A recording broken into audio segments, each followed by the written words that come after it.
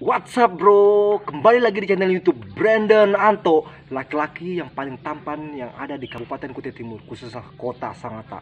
Nih, tampan belum? Tampan kan? Kalian tidak usah bahas ketampananku. Bahas yang akan aku santap hari ini, yaitu lalapan.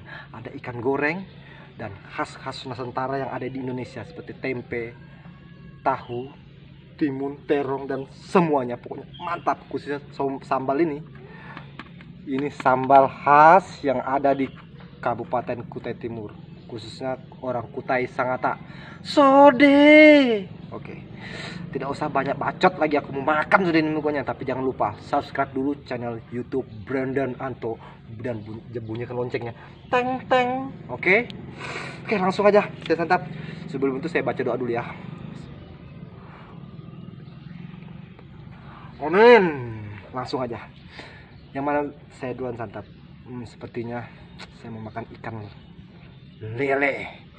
Ini ikan lele ini mantul sekali nih. Mantap betul. Oke, oke, oke, oke. Hmm. Hmm. Hmm.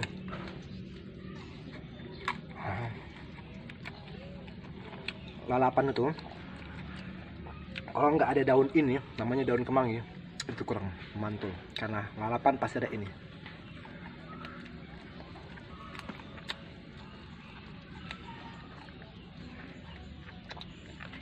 Dan juga lalapan itu tidak khasnya ada tempe dan tahu. Ini juga makanan favorit Indonesia ini. Jarang-jarang ada di luar negeri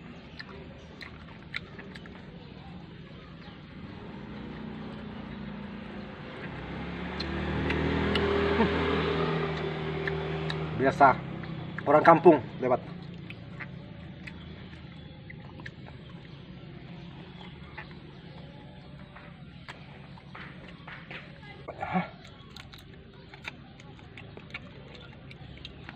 Hmm. terong uh. hmm.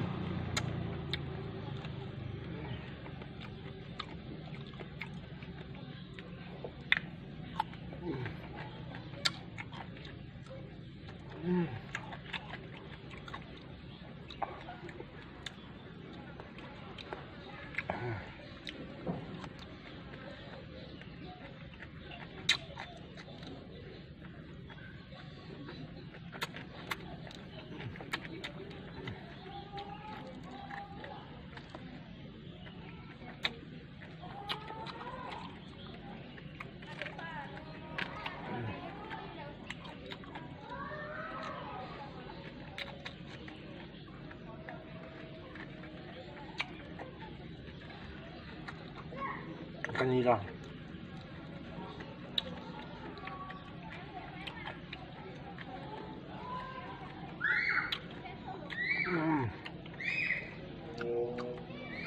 Pokoknya kalau ikan air tawar itu udahlah hmm, mantap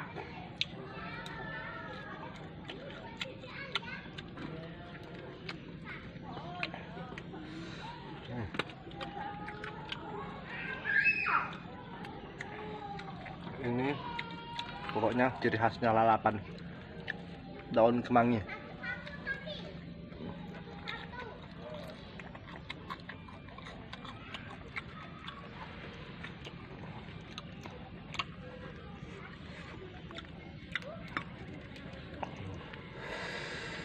hmm.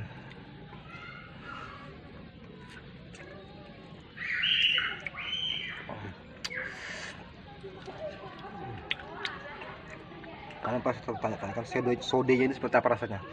Ini sambal sode pokoknya di antara sambal-sambal yang lain ini paling mantap. Sambal sode. Sode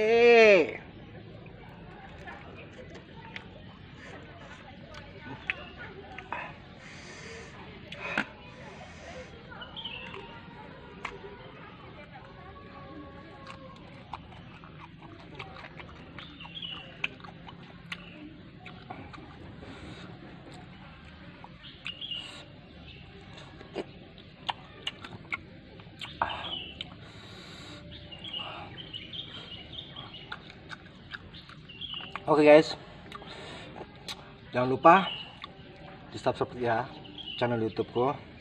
Dan komen.